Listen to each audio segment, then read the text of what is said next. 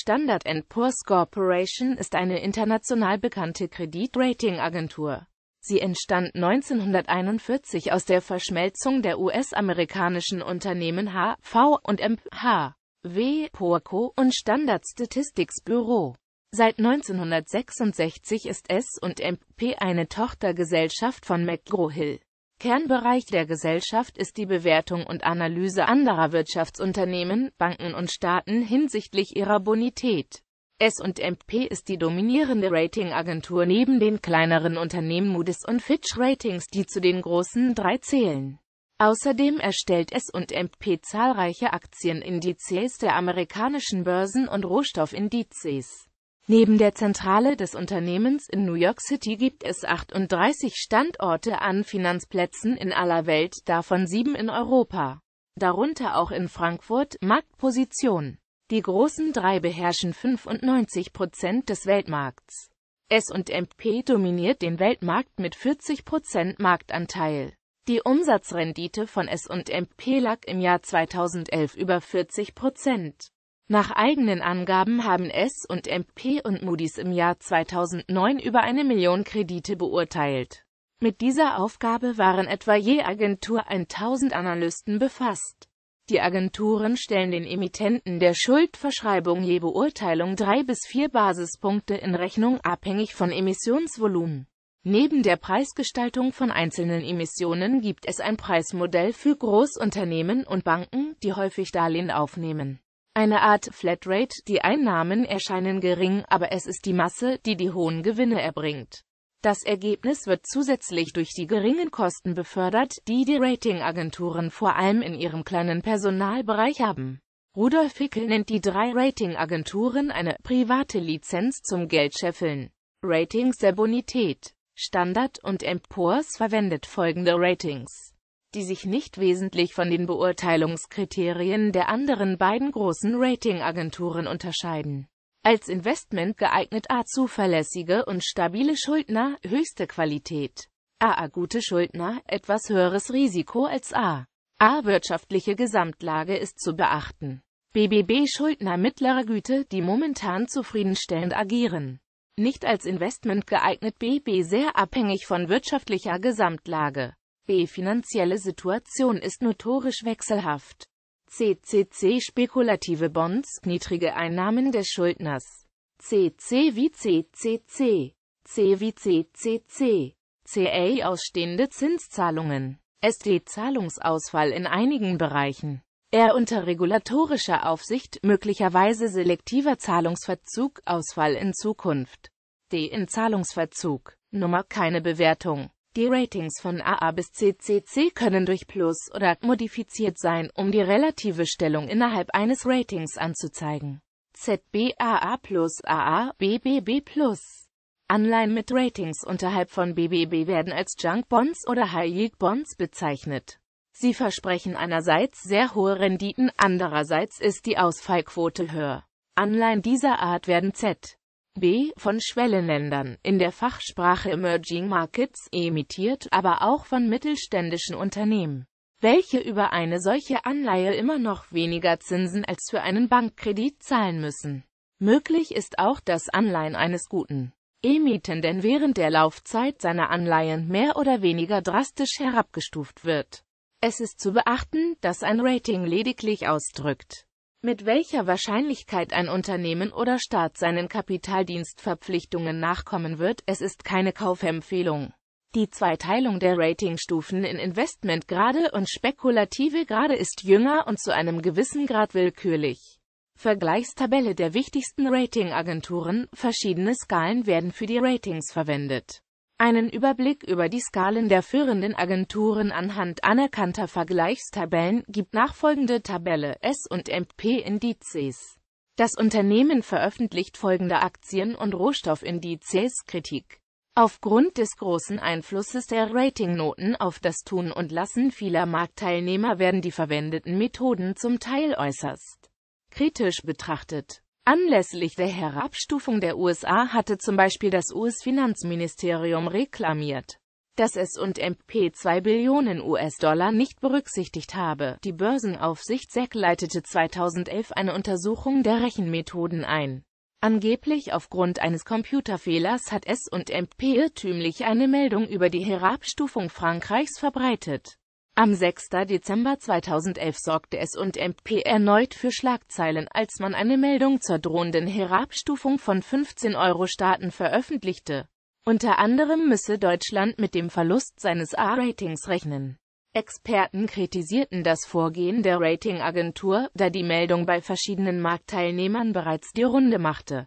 Noch bevor es und MP sie offiziell veröffentlichte, einzelne Händler hätten so einen unfairen Informations-Vorsprung gehabt. Trotz des negativen Ausblicks für die 15-Euro-Länder Anfang Dezember kam es nicht zu einer dauerhaften Verteuerung von Schuldtiteln der Eurozone. Im Januar 2012 senkte Standard und Poor's die Kreditwürdigkeit von neun Euro-Ländern, darunter auch Frankreich und Österreich. Die beiden Länder wurden von der Bestnote A auf AA+ herabgestuft. Prognosen, also Voraussagen auf die Zukunft basieren stets auf Daten der Vergangenheit, die extrapoliert werden. Nicht nur wegen methodischer Fehler oder Rechenfehler sind Fehlprognosen möglich, es können unvorhersehbare Ereignisse eintreten, die das Wirtschaftsgeschehen beeinflussen. Der Ratingagenturen wird ebenso wie grundlegenden volkswirtschaftlichen Theorien vorgeworfen, dass sie ökonomische Großkrisen so die andauernde Finanzkrise von 2007 nicht haben kommen sehen. Kritiker bemängeln insbesondere, dass die Schlussfolgerungen aus mathematischen Modellen nur jene Voraussetzungen spiegeln, welche in die Modelle eingeflossen sind. Schwarze Schwäne, als Metapher für Unvorhergesehenes, würden häufig in den Modellen nicht berücksichtigt. So der Finanzmathematiker und Philosoph Nassim Nicholas Taleb. Ewald Nowotny, Chef der österreichischen Nationalbank, kritisierte am 12. Januar 2012 im Fernsehsender ORF. Standard und Poor's sei sicherlich sehr viel aggressiver und sehr viel politischer als die anderen Ratingagenturen. Das ist ja eine politische Aktion, wenn in einem Schlag ganz Europa heruntergeratet wird oder zumindest eine negative Perspektive erhält. S&P erhöhte seine Gebühren im Frühjahr 2012 kräftig. Im April 2012 protestierten zwölf deutsche Konzerne Bayer, Continental, Daimler, Lufthansa, Deutsche Post, E. On, Henkel, Linde, RWE, Siemens, VW sowie der Familienkonzern Bertelsmann dagegen in einem offenen Brief. Verurteilung in Australien wegen irreführender Bewertungen am 5. November 2012 verurteilte ein Bundesgericht in Australien Standard und Poor's gemeinsam mit der niederländischen Großbank ABN AMRO und dem Finanzdienstleister LGFS zur Zahlung von Schadensersatz in Höhe von 30 Millionen australische Dollar wegen irreführender Bewertungen von Finanzprodukten. Ende 2006 hatten mehrere australische Kleinstädte für 16 Millionen australische Dollar-Kreditderivate Constant Proportion Debt Obligations von ABN AMRO mit der Bestnote A gekauft. Trotz der Versicherung von LGFS, dass das Verlustrisiko bei unter einem Prozent liege, verloren die Gemeinden, die mehrheitlich vom Bergbau und der Landwirtschaft leben, über 90 Prozent ihres investierten Kapitals. Der Präzedenzfall könnte auch zu Prozessen in Europa und den Vereinigten Staaten führen. Standard und Poor's kündigte an, Berufung gegen das Urteil einzulegen. Das US-Justizministerium hatte im Februar 2013 Klage gegen Standard und Poor's eingereicht. Wegen der Vergabe zweifelhafter Bonitätsnoten für Ramschanleihen aus der US-Immobilienkrise muss Standard und Poor's insgesamt 1,5 Milliarden Dollar zahlen. Das Unternehmen teilte am 2. Februar 2015 mit einem Vergleich mit dem US-Justizministerium 19 Bundesstaaten und der Hauptstadt Washington geschlossen zu haben. Die Ratingagentur legt auch jetzt Wert darauf, dass sie keine Gesetzesverstöße zugegeben habe. Belege, Wissen, wem gehören die Ratingagenturen? 17. Januar 2012 abgerufen am 23. April 2012 http www.standard10purs.com About SP Key Statistics on EU Übersicht der Standorte auf der Homepage von Standard und Poor's Rudolf Hickel zerschlagt die Banken S. 100 Ökon Verlag Berlin 2012 ISBN 9783430201414 Rudolf Hickel, Zerschlag die Banken S. 102 Ökon Verlag Berlin 2012 ISBN 9783430201414 VGL ZB Eidgenössische Finanzmarktaufsicht Konkordanztabellen abgerufen am 12. November 2014. Moody's Rating Symbols und EMP Definitions abgerufen am 12. November 2014. Standard und EMP Poor's Standard und EMP Poor's Ratings Definitions abgerufen am 12. November 2014. Fitch Ratings Definitions of Ratings and other Forms of Opinion abgerufen am 12. November 2014. Börsenaufsicht ermittelt gegen S&P Handelsblatt 14. August 2011. Die vermeintliche Herabstufung der französischen Kreditwürdigkeit hatte am Donnerstag Ängste vor einer Verschärfung der europäischen Schuldenkrise geschürt. Französische Staatsanleihen verbuchten kurz danach die größten Wertverluste seit Einführung des Euro. Auch an den Aktienmärkten in den USA und Europa löste die Nachricht Kursverluste aus. S&P nennt Computerfehler als Grund für Ratingpanne. Reuters Deutschland 12. November 2011 http www.ftd die Finanzen, Märkte, Anleihendevisen, Top-Rating ASP tut es schon wieder Schrägstrich 601387114.html. S&P Downgrades. Österreich, Frankreich, Italien, Spanien und weitere Staaten betroffen bei Wirtschaftsblatt. Ed 13. Januar 2012 Franks Unsolicited Long-Term Ratings Lower to AA plus Outlook Negative bei Standard Poor's Com, 13. Januar 2012. Austrias Long-Term Ratings Lower to AA plus Outlook Negative bei Standard Poor's. Com, 13. Januar 2012.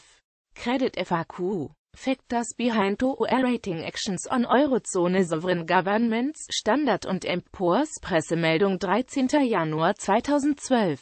AB Olaf Storbeck Fundamentalkritik, wie die Finanzkrise die VWL auf den Kopf stellt. In Handelsblatt. 14. Januar 2010. Nassim Nicholas Taleb.